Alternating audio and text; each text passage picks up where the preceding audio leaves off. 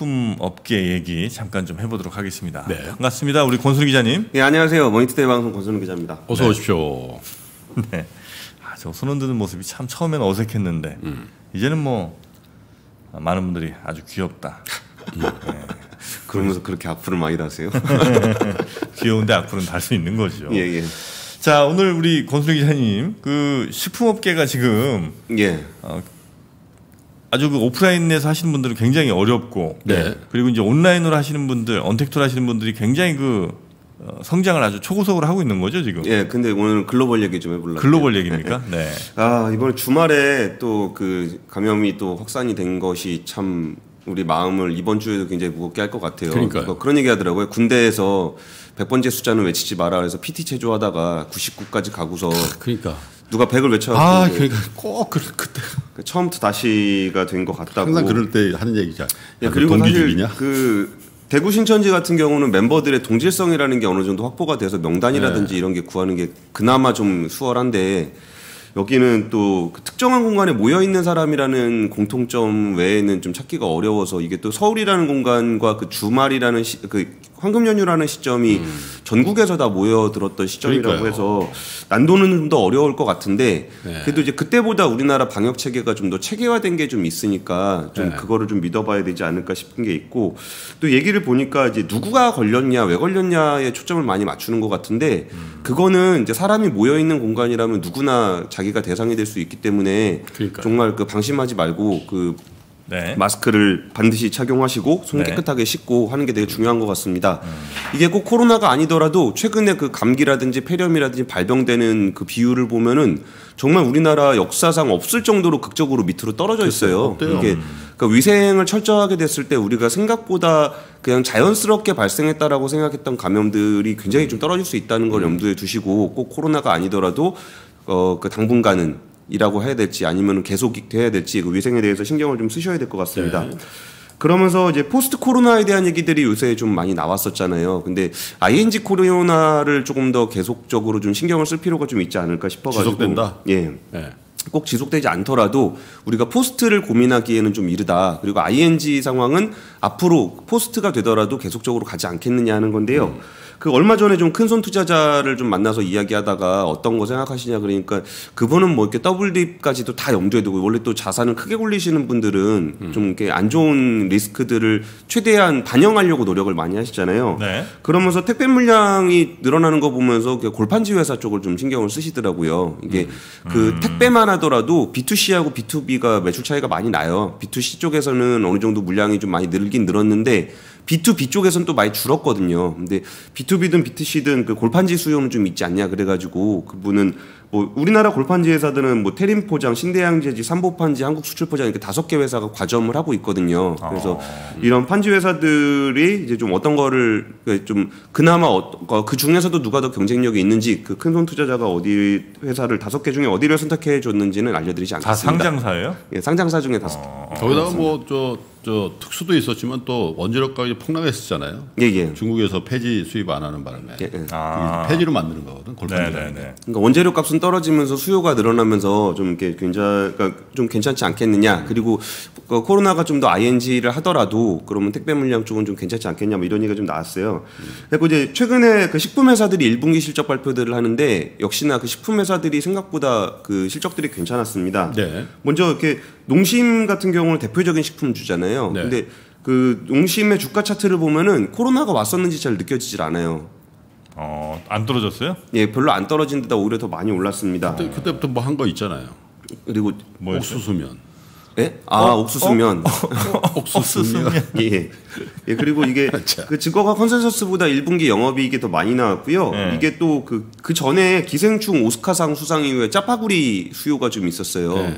그러면서 이렇게 짜파게티하고 이제 그 뭐야 그 너구리. 너구리 하고 이걸 같이 많이 늘었고 되게 짧게 끝나지 않았어요, 그거? 근데 거기에 이제 연장을 해가지고 네. 코로나 사재기 수요가 좀 있었습니다. 아, 사재기 수요가. 예, 그러면서 밀가루 가격이 10% 넘게 하락을 하게 되면서 비용이 좀 줄었던 측면도 좀 있습니다. 그러면서 이제 간편 시계 거장 CJ제일제당 같은 경우도 1분기 실적이 굉장히 좋았어요. 이게 HMR 같은 경우도 매출이 3분기만 기준으로 봤을 때 CJ 더마켓 기준으로 24%가 증가했습니다. 네. 이게 또 이제 뭐 비비고 왕교자라든지 뭐 햇반 매출도 많이 늘었고 냉동 피자 같은 경우도 요새 굉장히 잘 나가요. 그 피자 시장이 전반적으로 많이 침체가 되어 있는데 냉동 시자 피자 같은 경우는 좀 잘 팔립니다. 아, 그래요? 냉동 피자가 잘 팔려요? 맛있어요? 피자헛 같은 경우에는 굉장히 좀 가파르게 하락하고 있는 추세인데 냉동 피자들의 퀄리티도 굉장히 좋아졌고 뭐 크게 차이 없으면 집에서 먹는 게 편하지 않냐 이런 생각이 좀 들고 있습니다. 저는 거의 한 번도 안 먹어본 것 저는 옛날에 냉동 식품이 아주 질려가지고 영국은 냉동식품밖에 없다고 할 정도로 냉동식품 많이 아 먹어요. 그래요? 예, 근데 그 냉동식품 같은 경우에 그 옛날에 먹던 그 냉동식품이 아닙니다. 아, 그래요? 예, 그러니까 좀 먹어 보시면은 그 젊은 사람들 중심으로 많이 수요가 좀 늘어나고 있어요. 근데 오늘 말씀드리고 싶은 거는 HMR 같은 간편식 얘기는 아니고요. 네. 그거는 뭐 이제 뭐좀더 최근 시장에 좀 정통하신 분들을 불러다가 물어보시면은 굉장히 네. 좀 상세하게 설명을 해주실 것 같아요. 근데 우리나라가 아무래도 이제 코로나 방역 선도국이잖아요. 네. 그러면서 이제 한국적인 부분들이 해외에서 먹히는 경우가 되게 많아요. 그럼 코로나 상황에서 그럼 주가가 이렇게 다 같이 빠졌던 시점이 있었고 다 같이 오르는 시점이 있었을 때 그럼 더 오르는 애는 뭐고 덜 오르는 애는 뭐냐의 큰, 큰 차이 중에 하나가 사실 국내 마켓의 문제는 아니에요. 국내 마켓은 어느 정도 캡이 씌워져 있기 때문에 이게 아무리 올라봐야 한계가 있어요. 그럼 이 와중에 오히려 해외에서 좀 더 잘 팔렸던 것들은 정말 그 전고점을 돌파해서 가는 종목들이 꽤 많이 있어요. 네. 근데 예를 들어 삼성전자나 현대차 같은 경우는 개미들이 정말 많이 샀잖아요. 그럼에도 불구하고 그 전고점을 뚫지는 못했거든요. 전고점의 문제가 아니고 코로나 이전으로 돌아가질 못했어요. 네. 근데 사실 제가 좀 재밌게 봤던 종목 중에는 오리온이라는 회사 있는데 또 초코파이예요? 네, 초코파이 얘기죠. 아 정말 초코파이는 한 한 십몇 년 전에 중국에서 한번 대박 났다. 또 몇 년 전 저 한 십 년 전에 러시아에서 대박 났다. 뭐 이러면서 계속 전 세계 돌아가면서 대박 나는 것 같아. 예, 예. 그래가지고 제가 네. 오늘 드리고 싶은 얘기는 그 현지화하고 네. 또 이게 현지화가 아닌 쪽에서 식품 회사가 또 대박이 나는 삼양식품 얘기를 좀 이따 다시 같이 들려드릴 거예요. 삼양? 예, 예. 그럼 오리온 같은 경우는 뭐 다들 아시다시피 초코파이가 굉장히 잘 팔렸잖아요. 그러면서 1분기 영업이익이 8.5% 늘었고, 아 매출액이 8.5, 영업이익은 무려 25.5%가 늘었습니다. 국내는 당연히 잘 됐고요. 네. 그 중국 같은 경우는 오감자 그 스낵 매출이 한 51% 이상 늘어났습니다. 오감자. 예. 아 오감자가 1분기. 잘 팔려요 또? 예, 그 오감자 잘 팔립니다. 아 네. 그리고 이제 베트남 법인 같은 경우도 23.9%가 늘어나면서 1분기 최대 매출을 달성을 했는데요. 물론 러시아 법인 같은 경우도 초코파이 신제품 효과로 해서 한 32.8% 증가했습니다. 그 그럼 여기서 그 지금 얘기했던 오감자 매출이 늘어난다는 점을 좀 이렇게 눈여겨 볼 필요가 있는데 이게 제가 그 왜 베트남 시장인가라는 책에서 오리온의 성공 비결을 좀 보고서 이거를 우리나라 식품 업체 중에 어떤 회사들이 어떤 전략을 쓸 때 좀 우리가 좀 눈여겨 볼 필요가 있는가라는 거를 좀 신경 생각을 해볼 필요가 있는 것 같아서 네. 그 베트남에서 보면은 그 처음에 오리온이 들어갈 때는 이제 초코파이가 먼저 인기를 좀 끌었어요. 네. 근데 초코파이가 인기를 끌 때 오리온은 알아요. 이게 그 파이 다음은 스낵이다. 아 원래 그런 게 있어요? 그러니까 이게 오리온의 어떤 그 전략이에요? 전략인데 어. 처음에 그 개발도상국이나 신흥국 같은 경우는 약간 배를 채울 수 있는 파이류를 많이 먹는다는 거예요. 아. 그리고 실제로 베트남에서는 우리는 이걸 초코파이를 간식으로 먹잖아요. 근데 베트남 같은 경우는 식사? 대용으로? 먹습니다. 예, 식사 대용으로 먹어요. 오, 점심에 그래? 간단하게. 열량으로 치면 그럴만한데. 아 연락 꽤 그, 높을 그거 거. 먹고는 안 되죠 저는. 그러니까 이게 우리가 먹을 때 좋으냐, 우리가 어떻게 소비하냐는 해외에서 전혀 중요하지 않아요. 뭐 그렇게 아. 그렇지. 예, 네. 예. 근데 뭐 딤섬 같은 경우도 뭐 점심에 마음 심자 하나 찍어서 간단하게 먹는 걸 딤섬이라고 하잖아요. 그게 점심이잖아요. 예, 그게 점심이잖아요. 그럼 베트남 사람들 같은 경우는 그거 한 개 먹는 게 한 끼 식사기 때문에 이게 굉장히 좀그 뭐 물론 거기에 초코가 너무 열, 더운 지방에 가면 너무 잘 녹으니까 이걸 그치. 조금 더 열을 잘 견디게 하는 그런 기술도 개발하고 이런 측면도 분명히 있습니다. 그러면서 그 베트남에서는 되게 유명했던 게 그 사당에다가 초코파이 올려놓고 제사 지내는 거 아버지 생전에 좋아하던 음식이라고 아, 진짜요? 아, 그거는 굉장히 몇 년 전에 유명했던 얘기예요. 그래요? 베트남의 이제 주요 그 이거는 주식에 가깝다. 어. 그래갖고 이제 굉장히 많이 팔리고 있는데 어, 굉장히 그 초코파이가 우리나라 기준으로는 좀 싸지만 베트남 기준으로는 좀 고가의 음식입니다. 어. 아무래도 간식보다는 주식에다 더 비용을 지출할 수 그렇지. 있잖아요. 네. 그러면서 굉장히 좀 인기가 좀 많았었는데 그리고 또 이제 영업 전략에서도 그러니까 우리나라 식품 회사들이 현지화를 할 때 그 대형 유통망을 끼고 하는 경우가 많아요. 네. 왜냐하면 그 일일이 찾아다니면서 장사하기가 힘들거든요. 그렇죠, 그렇죠. 네. 근데 그 오리온 같은 경우는 초기부터 현지화 모델 그 진짜 그 주방 음. 구석 구석에 그 구멍가게까지 영업 사원들이 돌아다니면서 오리온 직원들이 예, 예. 아 그래요? 물론 한국에 있는 직원들이 가서 그런 건 아니죠. 영업 사원들은 따로 고용을 하는 거니까. 네네네. 근데 그러면서 이제 거기서 뭐 청소도 해주고 그러면서 이렇게 좀 사람들을 이렇게 잘 끌어들여서 그러니까 자체 영업망이 있다는 거죠, 우리 어 그쵸 거기 영업 사원 지금 한 3천 명 넘게 있습니다. 베트남에. 예, 예. 그, 그러면서 이게 그 대형 유통망을 안 썼다는 거는 거기에 이제 그 과점 시장으로 유통망이 있는 거를 우회한 거잖아요. 그러니까 굉장히 견제를 많이 받았는데 그러니까 도매상이 소매상한테 그러는 거죠. 야, 니네 오리온 물건 받으면 우리 물건 안 준다. 막 이러면서 이렇게 협박도 당하고 뭐 그러는 와중에 네. 영업사원들 가서 뭐 청소하고 아, 사장님 장사는 그렇게 하는 게 아니고요. 뭐 이런 것도 있고요. 저런 것도 있고요. 이러면서 그 유통망을 뚫었어요. 근데 그러면서 힘들게 힘들게 그 초코파이 유통망을 뚫으면서 같이 했던 게 뭐냐면은 스낵 영업사원을 같이 붙인 따로 주- 주- 구성을 한 거예요. 그러니까 한 사람 영업사원이 여기를 뚫었다. 그럼 얘를 통해서 다 팔면 되잖아요. 근데 그렇게 안 하고 스낵 영업 사원을 따로 투입을 한 거예요. 왜? 왜? 이게 왜 그러냐면은 분명히 여기서 매출이 아까 말씀드렸던 것처럼 그 베트남 경제가 성장을 하게 되면은 그게 한한 끼 식사를 먹는 게 아니라 좀 간단하게 먹을 수 있는 스낵류가 많이 팔리게 될 거다라는 게 전략이고 그런 매출이 한 끼로 한끼 먹는 것보다는 과자는 계속 먹을 수 있잖아요. 네. 그러면 이 영업사원한테 파이 영업사원한테 스낵을 같이 영업을 시키면 아, 잘 팔리는 파이만 팔게 된다는 거예요. 그렇겠네. 그러니까 스낵을 같이 있는데 야, 이게 잘 팔리니까 매출 맞아. 올릴 수 있는 게 있는데 굳이 네. 내가 스낵을 팔아야 되냐라고 하면은 정말 스낵 영업사원은 사활을 걸고 그걸 파는 거예요. 그러면서 스낵 영업사원들이 많이 팔기 시작하면서 베트남 매출에서도 스낵이 차지하는 비중이 굉장히 올라가면서 파이 매출보다 이제 스낵 매출이 좀더 빠른 속도로 이제 올라올 수 있게 되는 거죠. 네. 그러면서 이제 뭐 파이로는 초코파이나 커스타드 같은 게 있고 스낵은 고래밥, 포카칩 이런 게 있는데 이런 상황에서 그 베트남 쪽에서는 그한 그 쌀과자 쌀과자가 작년 그 4월에 런칭을 했어요. 네. 근데 이것도 이제 그 결국 이제 그 스낵의 영역으로 들어가는데 시장 점유율을 뭐 단숨에 13% 차지하면서 2위까지 올라갔습니다. 그러니까 굉장히 영업을 잘하가 물론 초코파이는 압도적으로 1등입니다 베트남 시장에서. 네. 근데 아까 전에 이게 우리가 먹, 우리가 좋아하고 우리가 소비하는 패턴이 현지에서 별로 중요하지 않다는 말씀을 드렸을 때 네. 그 프랜차이즈 같은 경우도 베트남 프랜차이즈 1위가 맥도날드가 아닙니다. 우리나라의 롯데리아예요. 어디가요? 롯데리아. 베트남 프랜차이즈 1위. 시장 점유율 25%. 아, 패스트푸드 쪽에서 예, 예. 그 프랜차이즈 뭐 롯데리아가 버거킹 많아요? 1등입니다. 25%. 맥도날드는 1%. 아 맥도날드 안 되는구나. 예, 안 돼요. 버거킹도 뭐 거의 한 매장 한 다섯 개 정도 있는데 공항에만 있고 뭐 그런 식입니다. 아, 그래요? 그러면 이제 우리나라 어, 생각에 어, 데리버거가 잘 팔리나? 뭐 한우버거 아 역시 K푸드 불고기 버거. 불고기 버거 한우버거 이런 거 딱 가져가서 잘 됐나 보다라고 생각하시면 오산이고요. 네.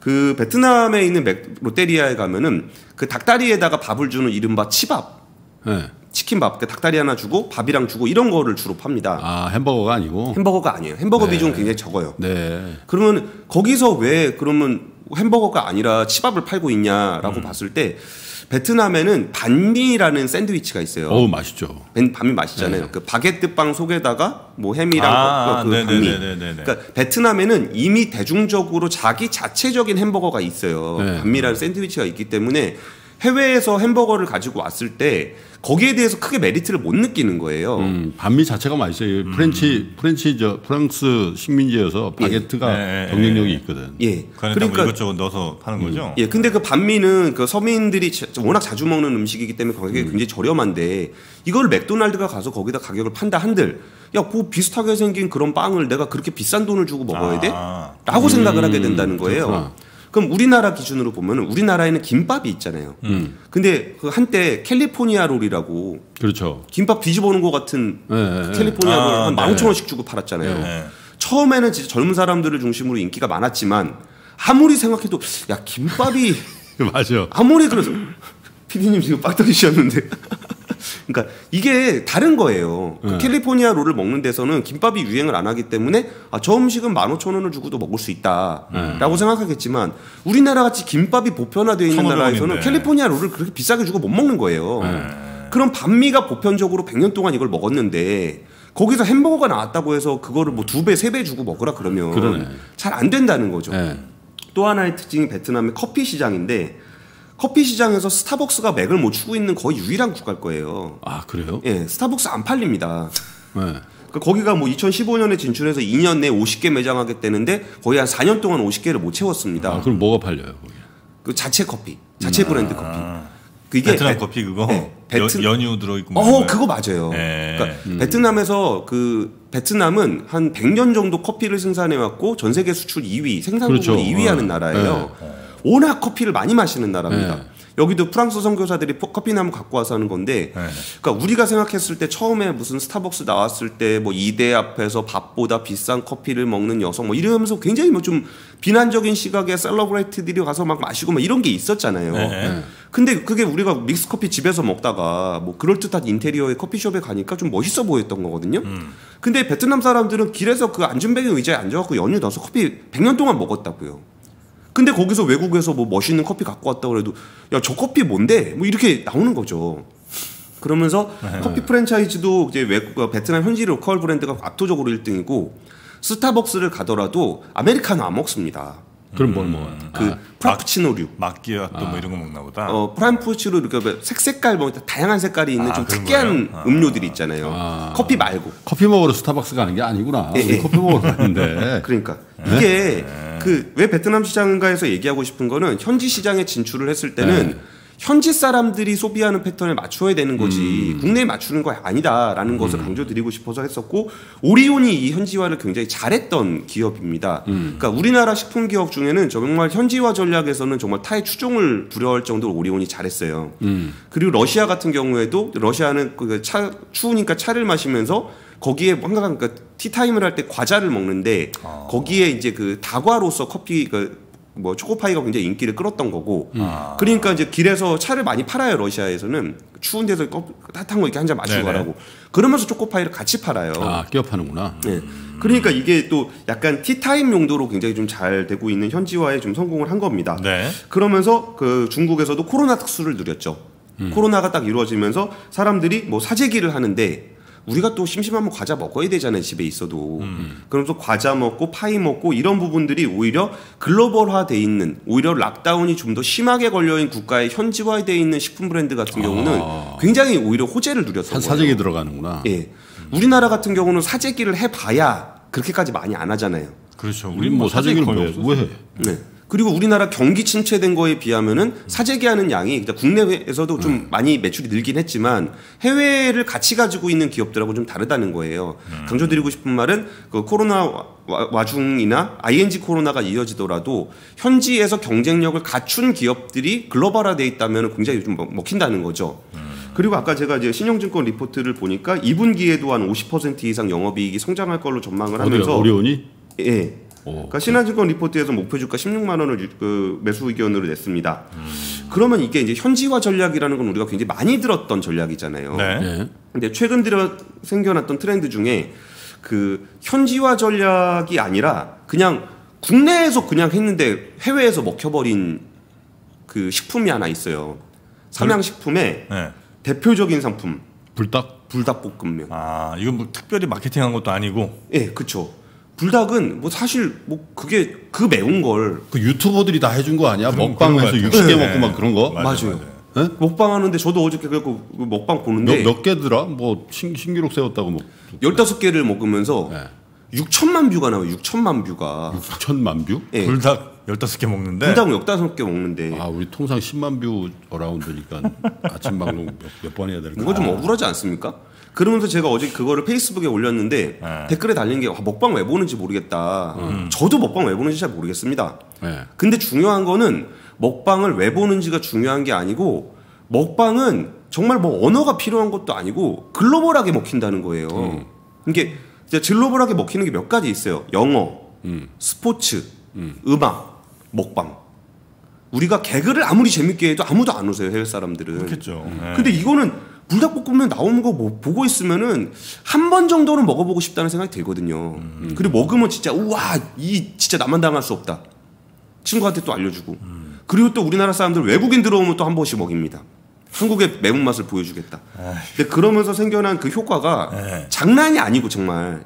그러니까 우리가 장난으로 불닭, 불닭을 이야기하지만 불닭이 나온 거는 2012년이에요. 오래됐잖아요. 이미 거의 한 10년 가까이 되는데 네. 그 당시에 한 75억 매출하던 게 2018년에 거의 3천억 가까이로 늘어났어요. 하나가? 예. 불닭볶음면이 예. 와 그리고 이게 나는 한 번도 안 먹어봤냐? 저도 안 먹어봤어요. 그러니까 2016년 이후에 이게 SNS에서 돌기 시작했는데 이게 외국에서는 불닭볶음면을 뭐라고 부르냐면 삼양라면이라고 부릅니다. 아예. 아. 삼양라면은 외국인들이 알 게 뭐 있어요. 그러니까 인도네시아가 인도네시아산의 오토바이를 혼다라고 부르나 비슷하구나. 아. 그러니까 그냥 뭐 나오면 fire noodle, fire noodle. 예, 뭐 fire noodle challenge 그럼 이거 먹는 거 막 서로 경쟁하고 뭐 이런 건데 이게 그냥 외국에서 삼양라면이라 그러면 불닭볶음면이에요. 네. 근데 이게 또 최근에 코로나 정국에 어떤 뭐 에피소드가 하나 있었냐면은 네. 저도 어디 뭐 기사에서 본 건데 미국의 커뮤니티 레딧에서 한 영국인이 라면 사재기를 하려고 네. 갔더니 매대에 남아 있는 라면이 있길래 한 40개 정도를 자기가 싹쓸이를 해왔다는 거예요. 음. 그리고 이제 한 개를 먹었는데 불닭볶음면이에요. 하필이면 예. 근데 이게 먹어보니까 이게 장난 아닌 거야. 음. 근데 남은 라면은 39개가 불닭볶음면이네. 나 이거 어떻게 해야 되냐. 예, 그런 사연이 올라왔습니다. 아, 그 레딧이라고 아주 그 유명한 커뮤니티죠, 거기. 그리고 이제 한정판으로 출시됐던 핵불닭 볶음면 더 매운 거구나. 더 매운 거. 아. 이게 거의 한 달 만에 100만 개가 판매가 됐습니다. 근데 거기다가 이제 불닭볶음면의 브랜드가 뭐 오리지널 치즈 까르보나라 쫄볶이 뭐 아홉 개 제품으로 구성되어 있는 이게 뭐 거기다 떡볶이, 라볶이 거기에 뭐 거의 소스까지 해가지고 이제 Korean 소스가 고추장이 아니라 불닭 소스가 될 거라는 얘기도 파다해요. 고추장보다 훨씬 더 유명해졌거든요. 그걸 왜 먹? 아니, 그, 왜 먹는지 궁금해하면 안 아, 된다니까. 그거 궁금할 필요는 그러니까 없다. 투자를 하시는 분은 아니 그걸 받아들이라는 거지. 아, 그렇죠, 그렇죠, 그렇죠. 자꾸 저항하지 말고.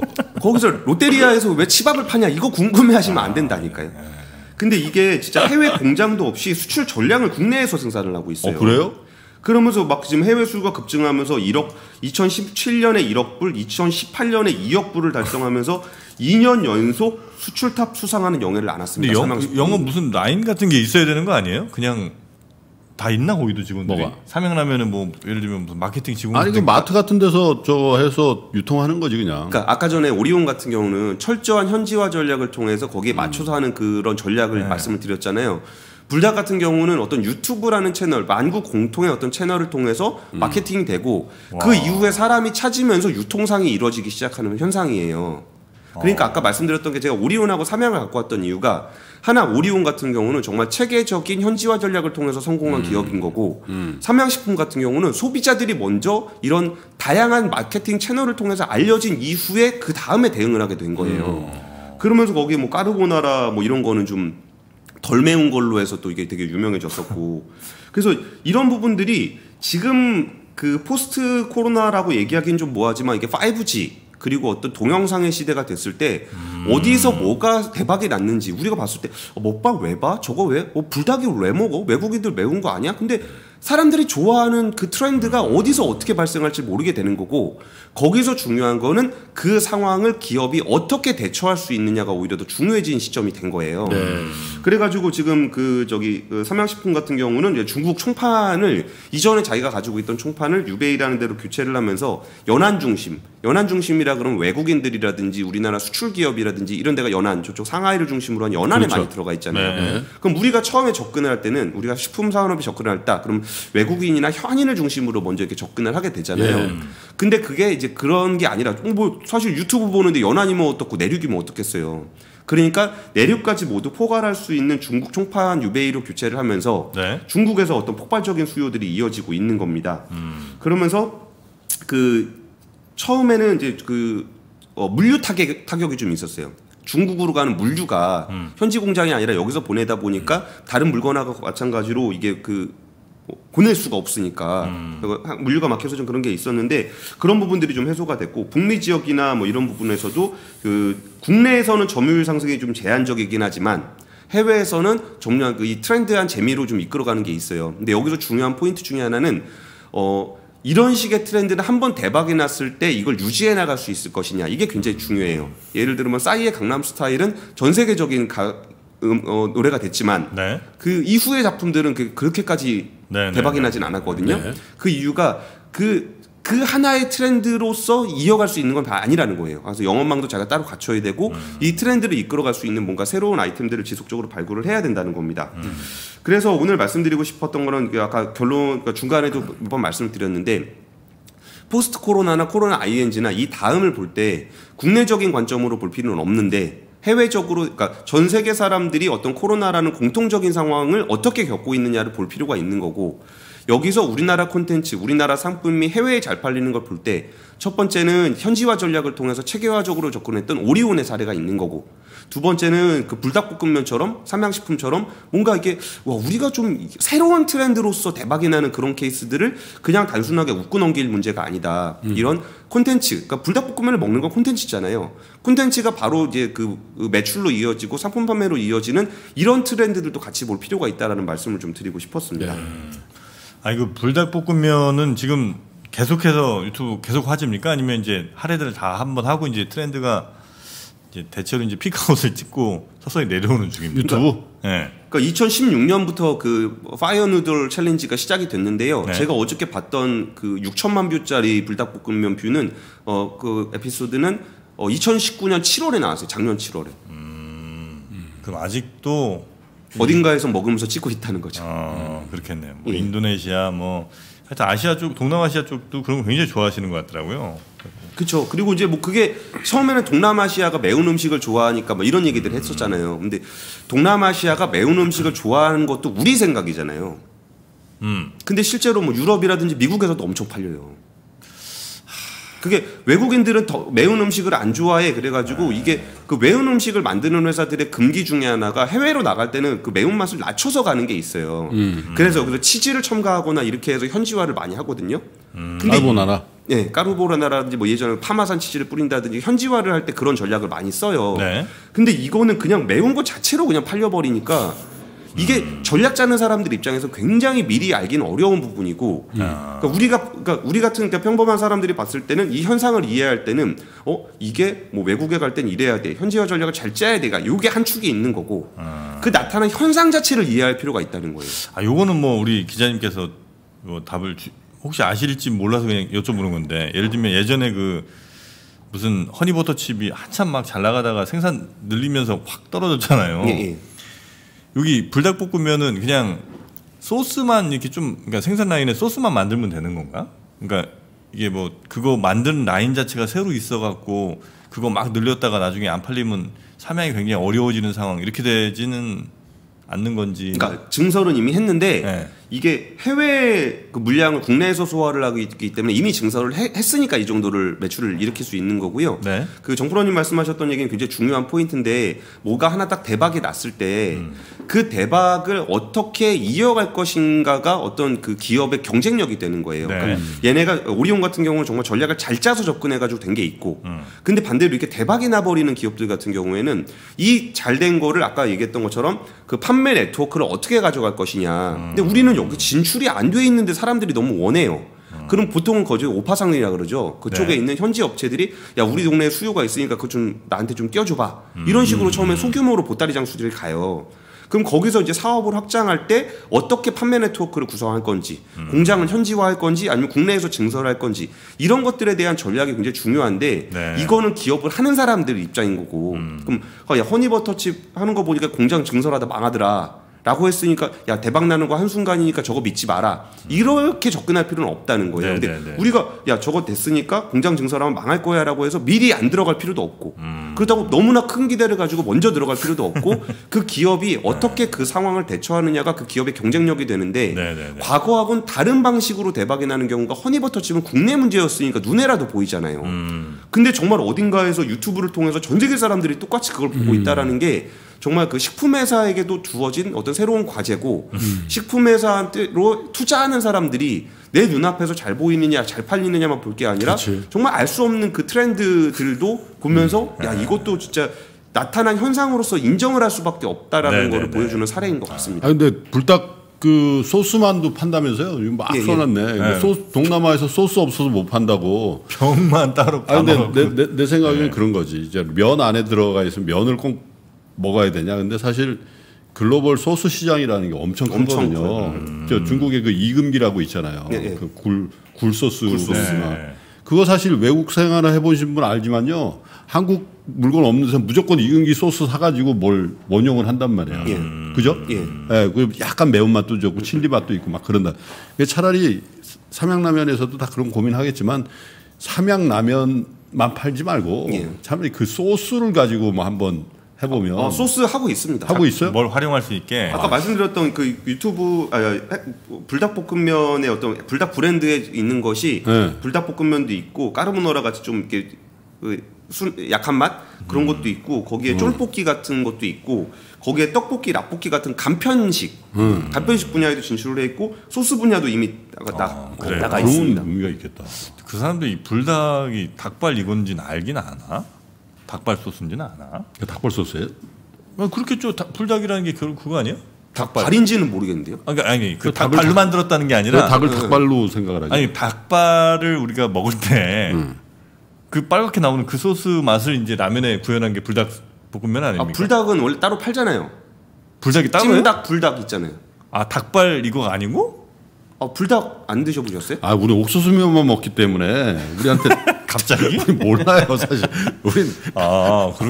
옥수수면 외에는 아 불닭이 따로 있어요. 제가 나중에 저 여의도 앞에 불닭 파는 아니, 데서 그 한번 모시겠습니다. 저기 삼양라면 전화 주세요 그냥. 저희 한번 먹어볼게요. 알겠습니다. 제가 그래도 최초로 이 먹방 한 사람 아니야 옥수면. 아 그렇죠. 그래서 저희가 진짜 이걸 다 먹어갖고 뭐 옥수면이- 빈통이에요 이게 지금 빈통. 빈통. 다 먹었습니다 저희가. 자 그러면 우리 어, 공 기자님과 아주 오늘 흥미로운 또 먹는 얘기하니까 또 어, 배고프네. 예 배고프네요. 출출하실 때 옥수수면 드시고요. 자 오늘 함께 해 주신 머니투데이 방송의 권순우 기자님 대단히 고맙습니다. 네, 감사합니다. 네.